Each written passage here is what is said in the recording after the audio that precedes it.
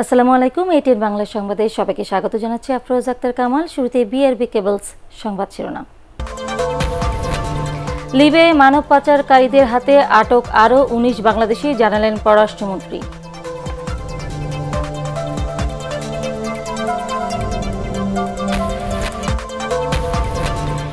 দেশে করোনা ভাইরাসে আক্রান্তের শতকরা একাত্তর জনই ঢাকা বিভাগের বাসিন্দা, চব্বিশ ঘন্টায় সাঁত্রিশ জনের মৃত্যু।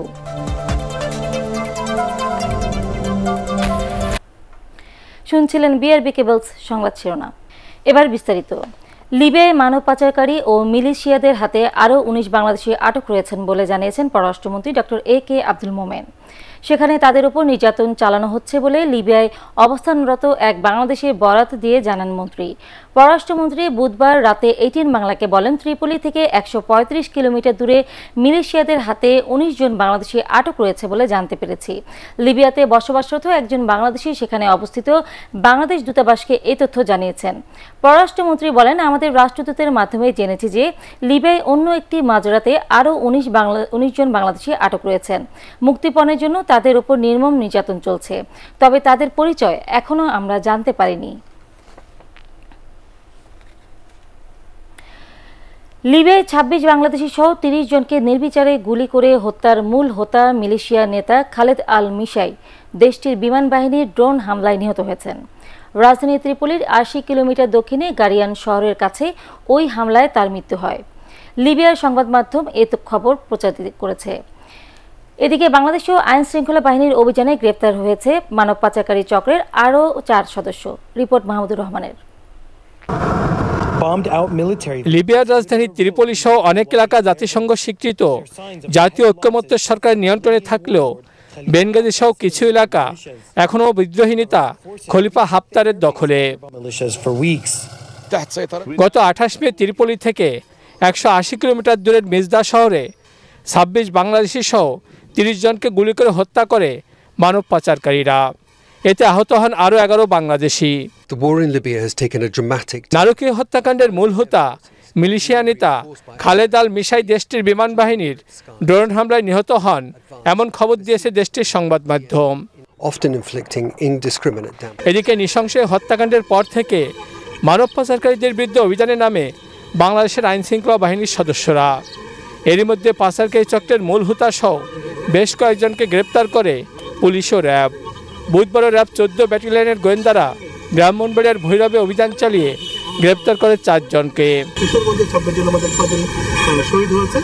আমরা সে প্রেক্ষিতে কিশোরগঞ্জের দালাল চক্র যারা যারা জড়িত তাদেরকে আমরা ধরার জন্য আমাদের ছায়া তদন্ত শুরু করি। এর প্রেক্ষিতে আমরা জানতে পারি যে চারজনের নাম আছে।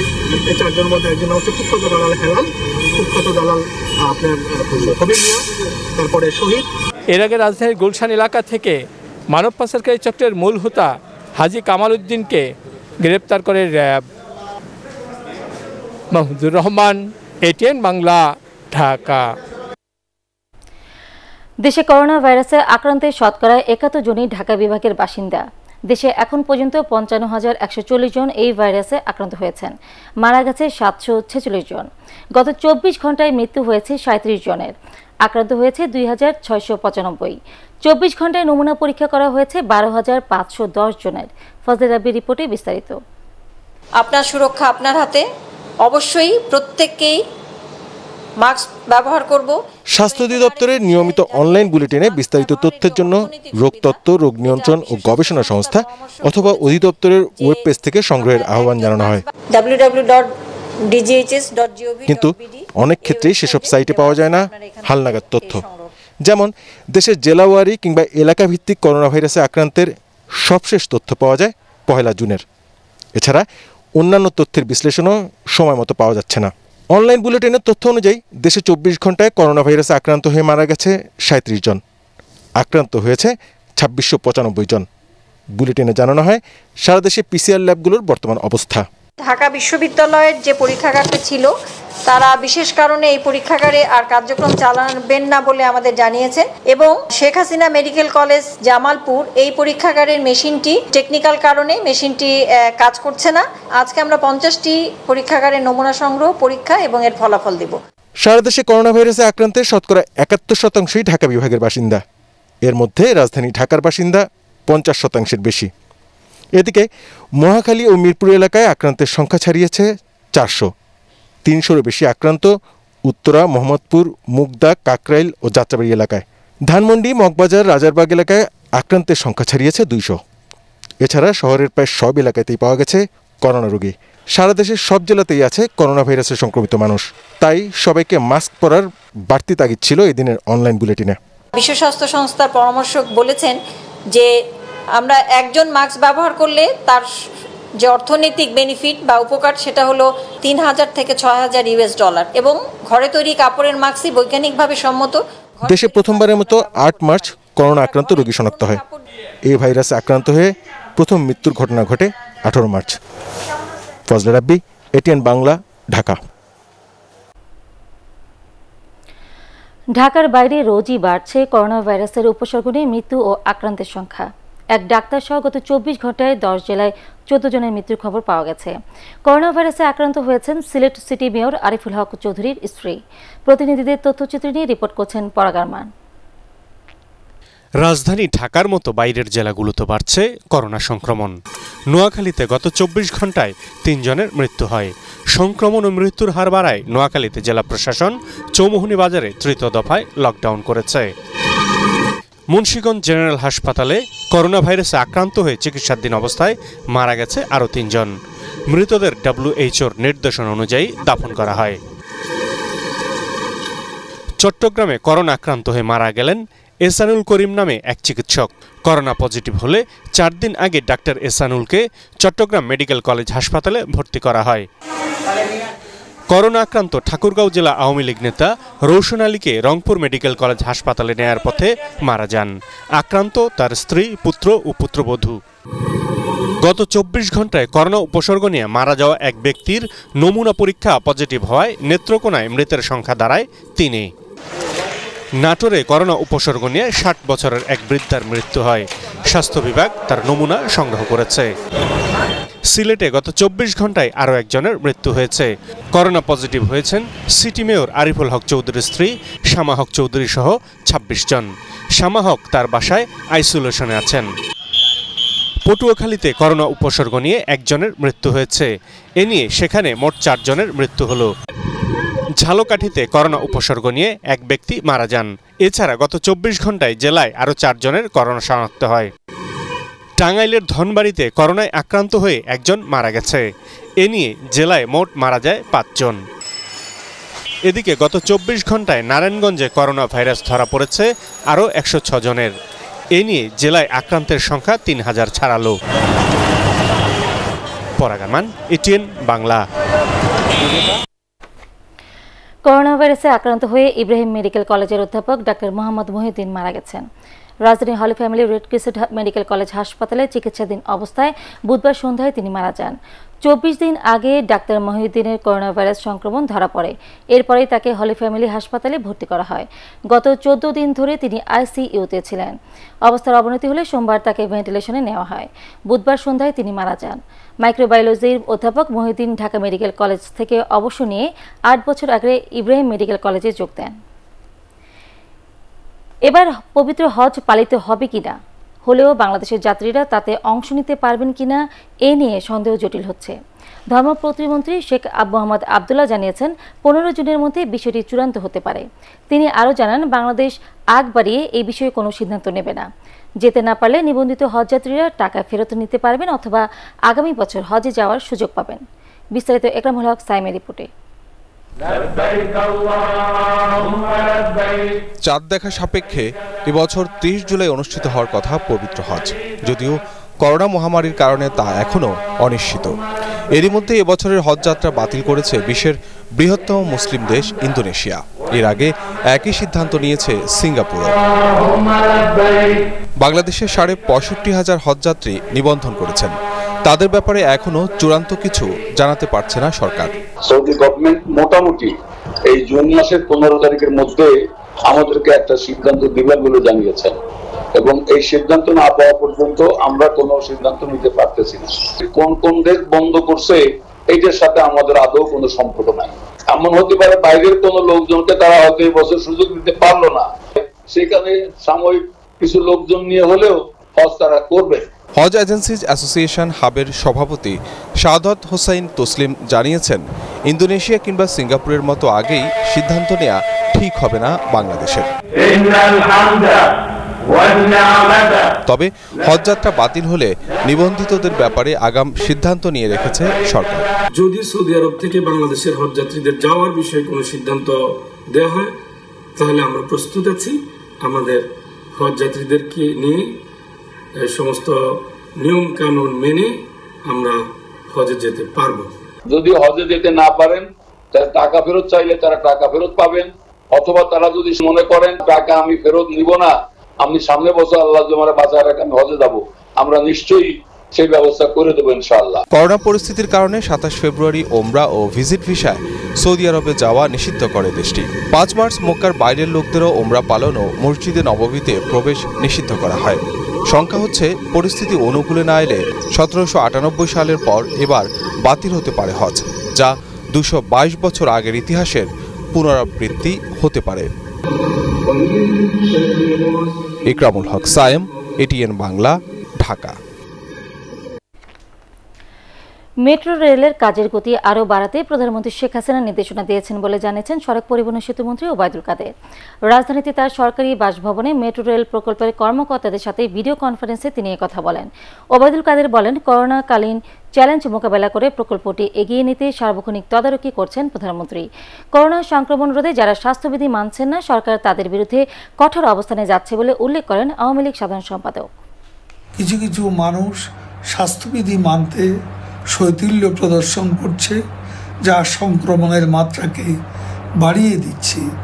এতে আক্রান্তের সংখ্যা বাড়ছে, মৃত্যুর হারও ক্রমেই বাড়ছে। করোনা মোকাবেলায় ব্যর্থ নয় সরকার, বরং সরকারের বিভিন্ন পদক্ষেপের কারণে ইউরোপ, আমেরিকা, এমনকি ভারত ও পাকিস্তানের চেয়ে দেশের মৃত্যু হার কম বলে মনে করেন তথ্যমন্ত্রী ডক্টর হাসান মাহমুদ। সচিবালয়ে বিভিন্ন দপ্তরের প্রধানদের সাথে বৈঠকের শেষে তিনি এসব কথা বলেন। এ সময় তথ্যমন্ত্রী জানান, মানুষের জীবন জীবিকার কথা বিবেচনা করে কিছু কিছু ক্ষেত্র সীমিত পরিসরে খুলে দেওয়া হয়েছে। তারা প্রজ্ঞাপন আমাদের মন্ত্রণালয়ে সবাই আসে না। ভারতে মৃত্যুর হার তিন শতাংশ। পাকিস্তানে মৃত্যুর হার দুই দশমিক বারো শতাংশের বেশি। বাংলাদেশে করোনা ভাইরাসে আক্রান্তদের মধ্যে মৃত্যুর হার এক দশমিক তিন পাঁচ শতাংশ। পাকিস্তানে অনেক আগেই সব কিছু খুলে দেওয়া হয়েছে। ভারতে গণপরিবহন চালু করা হয়েছে দুই সপ্তাহ আগে। জীবন এবং জীবিকার মধ্যে সমন্বয় রাখতে হয়। এই সেই সমন্বয় করার জন্যই সীমিত আকারে অনেক কিছু খোলা হয়েছে। করোনা মোকাবেলায় সরকারের ব্যর্থতায় লেজে গবরে অবস্থা সৃষ্টি করেছে বলে মন্তব্য করেছেন বিএনপির মহাসচিব মির্জা ফখরুল ইসলাম আলমগীর। নাগরিক ঐক্যের প্রতিষ্ঠা বার্ষিকী উপলক্ষে ঢাকা রিপোর্টার্স ইউনিটিতে এক অনুষ্ঠানে ভিডিও কনফারেন্সে যুক্ত হয়ে তিনি কথা বলেন। দেশ ভয়াবহ সংকটে উল্লেখ করে রাজনৈতিক দলগুলোকে এক প্ল্যাটফর্মে এসে আলোচনা শুরু করার আহ্বান জানান বিএনপি মহাসচিব।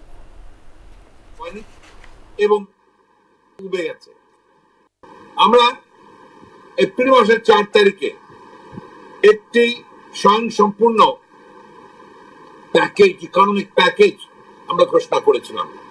যে ওই প্রস্তাবনাকে সামনে নিয়ে সরকার যদি ব্যবস্থা গ্রহণ করতেন, তাহলে হয়তো বা আজকের যে পর্যায়ে পরিস্থিতি গিয়ে পৌঁছেছে, সেই পর্যায় থেকে হয়তো কিছুটা এড়িয়ে চলা সম্ভব হতো। রংপুর তিন আসনের সংসদ সদস্য ও সাবেক রাষ্ট্রপতি এরশাদের ছেলে সাদ এরশাদ ও তার স্ত্রীর উপর হামলা, চেষ্টার অভিযোগে জাতীয় পার্টির এক নেতাকে আটক করেছে পুলিশ। আটকের পর সাদ এরশাদের বিরুদ্ধে অবস্থান নিয়েছেন সিটি মেয়র ও মহানগর জাপা সভাপতি মুস্তাফিজুর রহমান মুস্তফা। মঙ্গলবার রাতে ডিও লেটারে সই না দেয়াকে কেন্দ্র করে সাতাশ নম্বর ওয়ার্ড জাপা সভাপতি টিপু সুলতানের বিরুদ্ধে সাদ ও তার স্ত্রীর উপর হামলার চেষ্টার অভিযোগ ওঠে। এই ঘটনার পর ওই নেতাকে পুলিশ আটক করলে তার সমর্থকরা পল্লী নিবাসের সামনে কয়েক ঘন্টায় বিক্ষোভ করে। যার নেতৃত্বে ছিলেন সিটি মেয়র মোস্তফা। এদিকে দুপুরে এক সংবাদ সম্মেলনে এরশাদ পরিবারকে জাপার রাজনীতি থেকে সরিয়ে নিতে চক্রান্ত চলছে বলে অভিযোগ করেছেন সাদ এরশাদ। আন্তর্জাতিক সংবাদ।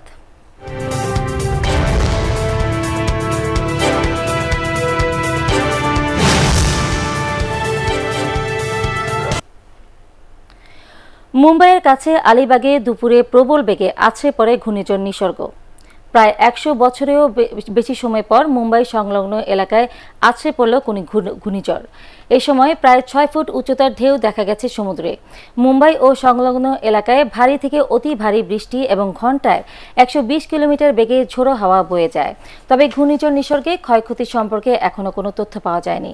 বুধবার সকাল থেকে বৃহস্পতিবার দুপুর পর্যন্ত সমুদ্রের কাছে এবং উপকূলবর্তী এলাকায় যাতায়াতে নিষেধাজ্ঞা জারি করা হয়েছে। এদিকে নিসর্গ দুর্যোগের মধ্যে মুম্বাই এয়ারপোর্টে অবতরণের সময় ঢাকা পিছলে, চাকা পিছলে যায় মার্কিন কার্গো বিমান এমডি এগারো ফেডেক্স এর ফলে রানওয়েতে ছড়িয়ে থাকা পানিতে ছিটকে অনেক দূর এগিয়ে যায় বিমানটি। পণ্যবাহী বিমানটি মার্কিন পণ্য পরিষেবার সঙ্গে যুক্ত। নিসর্গের দাপটের মধ্যেই বেঙ্গালুরু থেকে মুম্বাই অবতরণ করেছিল এটি। ক্রমেই করোনা ভাইরাস মহামারী নিয়ন্ত্রণ হারাচ্ছে ভারত। হু হু করে বাড়ছে সংক্রমণের হার।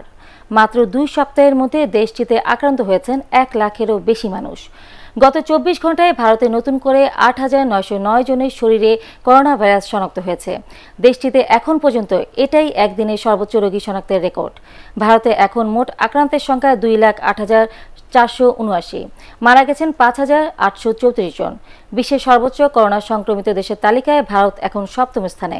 কয়েকদিনের মধ্যে দেশটি ইতালিকেও ছাড়িয়ে যাবে বলে আশঙ্কা করছেন বিশ্লেষকরা।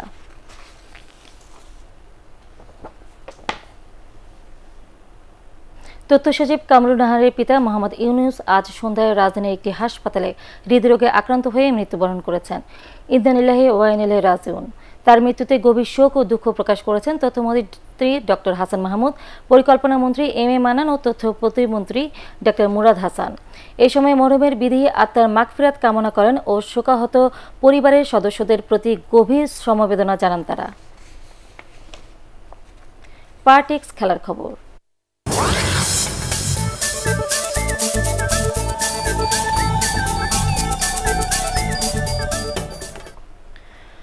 করোনা ভাইরাস মহামারীতে স্থগিত থাকায় Italian football league Serie A আগামী বাইশ জুন থেকে আবার মাঠে গড়াবে। এক বিবৃতিতে ইতালিয়ান লিগ কর্তৃপক্ষ জানিয়েছে, শেষ তিন রাউন্ড ছাড়া ইতালিয়ান লিগের বাকি ম্যাচগুলো সূচি নির্ধারণ করা হয়েছে। নির্ধারিত সূচি অনুযায়ী বাইশ জুন জুভেন্টাসের ম্যাচ দিয়ে মাঠে ফিরবে ইতালিয়ান ফুটবল। আগামী দুই আগস্ট ইতালির জনপ্রিয় এই ফুটবল আসরটি শেষ হবে বলেও বিবৃতিতে উল্লেখ করেছে কর্তৃপক্ষ। করোনা ভাইরাসের কারণে গত নয় মার্চ লিগ স্থগিত করা হয়।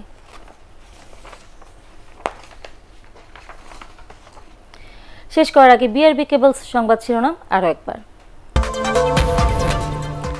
লিবে মানব পাচারকারীদের হাতে আটক আরও উনিশ বাংলাদেশি জানালেন পররাষ্ট্রমন্ত্রী।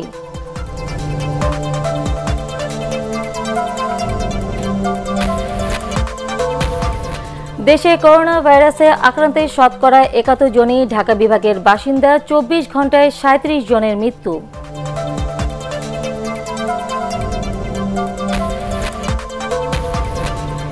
বাংলাদেশের হজ যাত্রীরা এবার হজে অংশ নিতে পারবেন কিনা জানা যাবে পনেরো জুনের মধ্যে, বললেন ধর্ম প্রতিমন্ত্রী।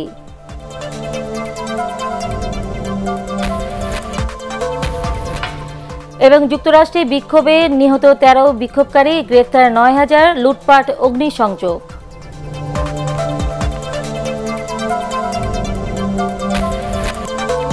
পরবর্তী সংবাদ দেখার আমন্ত্রণ জানিয়ে এখনকার মতো শেষ করছি। সবাই ঘরে থাকুন, নিরাপদে থাকুন। এটিএন বাংলা সংবাদ ইউটিউবে দেখতে ব্রাউজ করুন YouTube slash ATN Bangla news